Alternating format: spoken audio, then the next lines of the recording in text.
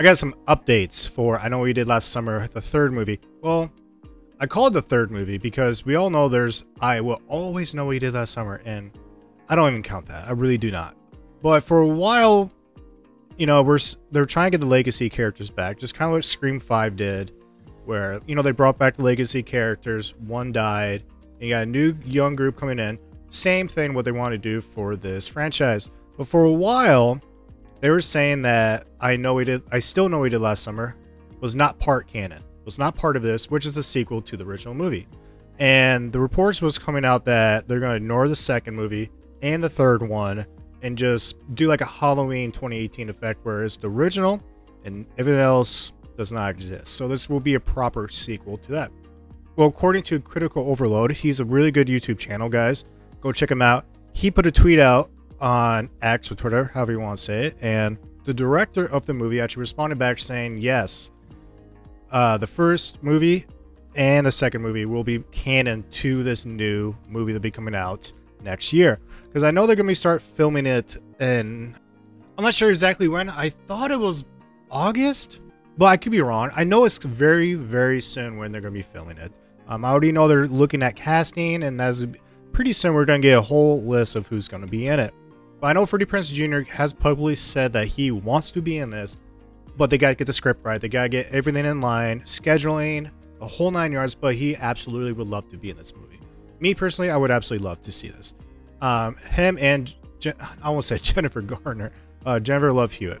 I would absolutely just see those two back because Freddie Prinze Jr. I, the second movie, they screwed him over. I mean, seriously, the whole time in the second movie, he's buying a gun from a pawn shop or he's on a bus and then the last three minutes, he was in the movie, saving, you know, the final girl, his girlfriend.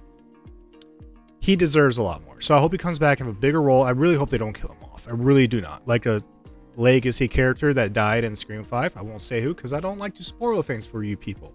Um, but I'm excited they're coming back to this franchise. I absolutely love the first movie. It's so iconic, so classic. It's just everything about it brings back so much nostalgia and the setting, the location, the design of the killer with the hook man, you know, that whole urban legend, and the cast.